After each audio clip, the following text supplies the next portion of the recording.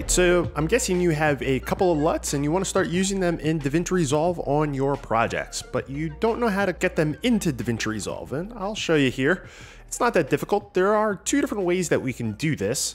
Uh, if we come up to LUTs, if you don't know where that is, we're on the color page currently. It's right up here at the top.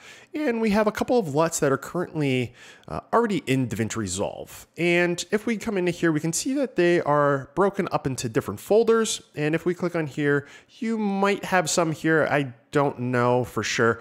I've uh, move my LUT folders around quite a bit. So if we go into any of these and we just right click on here, we can go open file location.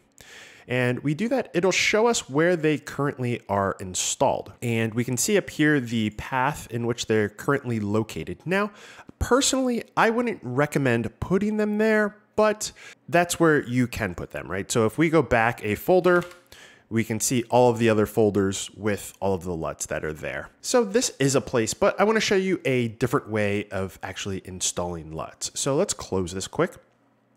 And let's go up to DaVinci Resolve in the top corner up here, and we go down to Preferences. From here, we can go into General, and in General, we have this LUTs location. This allows us to point multiple different folders for LUTs.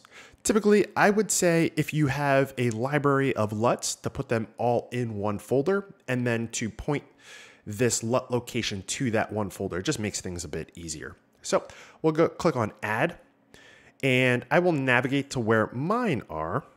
And down here we have my LUTs. So I'll just double click on this.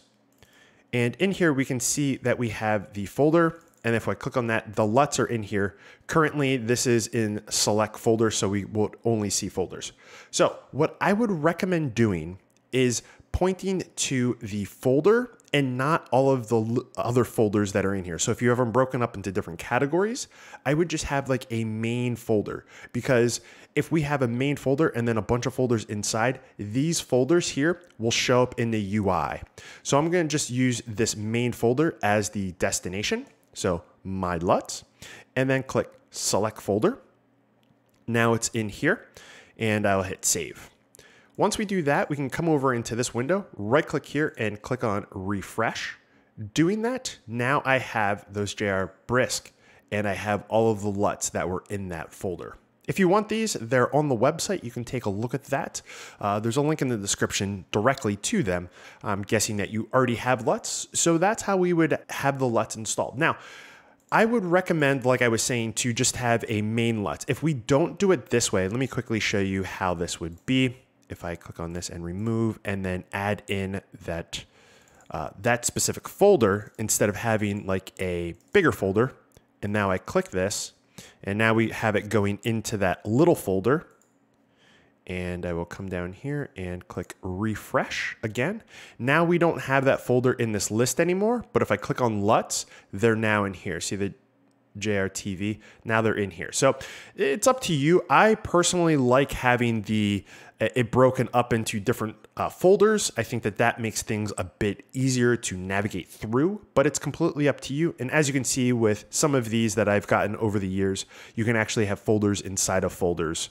Um, and then that allows it to be broken up even more if that's something that you want. So that's how you install LUTs into DaVinci Resolve. If you want some free titles, I have some on my website. There's a link in the description directly to those titles. If you want to learn more about DaVinci Resolve, I have a bunch of courses that are on my website, a little over 30 hours currently, and probably going to be more in the up and coming months. Uh, if you want some transitions, titles, effects, that sort of thing for DaVinci Resolve, my website has a ton of that stuff. You can take a look there.